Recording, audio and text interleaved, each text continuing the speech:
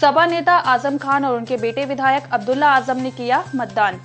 सपा के कदावर नेता आज़म खान और उनके विधायक बेटे अब्दुल्ला आज़म ने मतदान स्थल पर पहुंचकर वोट डाला। बाद में आज़म खान मीडिया से मुखातिब हुए। आज़म खान ने कहा सुबह से पूरे ज़िले के उन लोगों की व्यथा सुन रहे थे जिन पर पेंट बरसाए गए डंडे बरसाए गए जिन्हें गिरफ़्तार किया जिनकी मोटरसाइकिलों के और टायर काटे गए। उनकी व्यथा सुन रहे थे। यहाँ क्योंकि जिलाधिकारी ने और उनके साथ अधिकारी आए हैं उन्होंने क्रिमिनल अरे आईडी इतनी नमक न चाहो आईडी में रखा क्या है रोज पहले ही उनका टाइम नीचे करो आईडी ये पुलिस हैं। उन सब की नारे साफ़ कर दी गई हैं।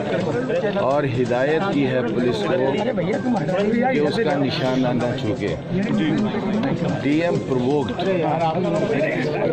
डीएम ने रामपुर वालों को प्रवोक करने में पुलिस अधीक्षक ने प्रवोक करने में कोई कसर उठाकर नहीं रखी है। यहाँ एक था उसे थोड़ा। लोग निकल कर आएँगे।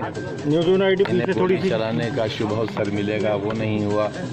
तो नीचे कर लो जौहर यूनिवर्सिटी की दीवारें तोड़ी। तो सर इतना सब क्या लोग निकल कर आएँगे। फिर गोली चलाने का मौका मिलेगा।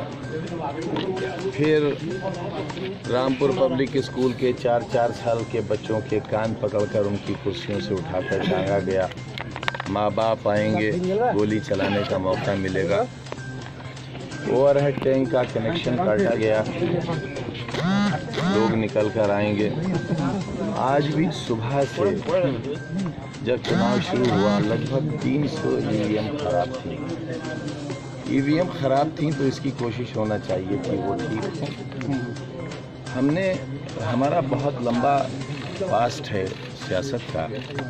हमने ये देखा है कि हर चुनाव में ज़िला प्रशासन अगर वहाँ पर कुछ समस्याएँ होती भी हैं एडमिनिस्ट्रेटिव तो उन्हें ये सोच कर टालते हैं कि अब इसे चुनाव बाद देखेंगे।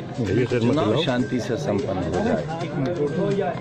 लेकिन हमारे प्रशासन ने यहाँ आकर मीटिंग करके जिलाधिकारी ने कहा कि योगी जी मेरे भगवान हैं और मैं उनका भक्त हूँ और भक्त भगवान के लिए कुछ भी कर सकता है। उनकी रिकॉर्डेड स्पीचेस हैं। चुनाव के लिए जो प्रोत्साहित किया जाता है वोटर्स को उसमें उन्होंने खुलकर बीजेपी के लिए वोट मांगा। कहा जो व्यक्ति बार बार चुना जा रहा है उससे आप क्यों वोट दे रहे हैं? और महिलाओं को संसद में होना चाहिए ज़्यादा तो आप महिला को वोट दीजिए। ये उनकी हमारे पास रिकॉर्डेड स्पीचेस हैं जो हमने इलेक्शन कमीशन को भेजी। हाँ और हमने तो कभी कुछ नहीं कहा। आर नीचे। कभी कुछ नहीं कहा। सर वो किसके इशारे पर काम कर रहे हैं? और भाई बेटे जिसकी सरकार है उसके इशारे पर। योगी आदित्यनाथ।